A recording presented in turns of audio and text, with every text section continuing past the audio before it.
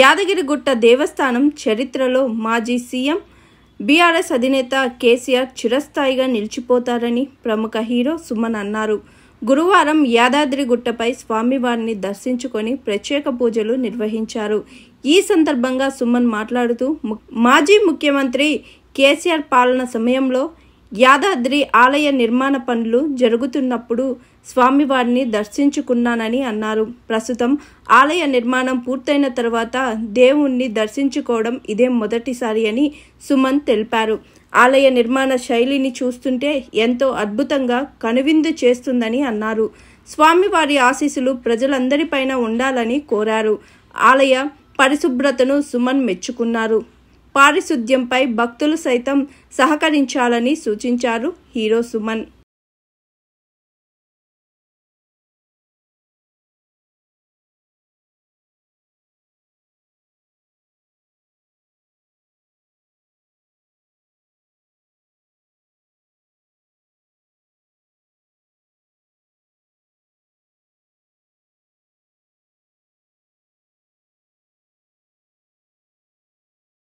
Hi this is Swathi like చేయండి share చేయండి comment చేయండి అండ్ సబ్స్క్రైబ్ చేయండి GRTV hi this is Monika please like share and subscribe GRTV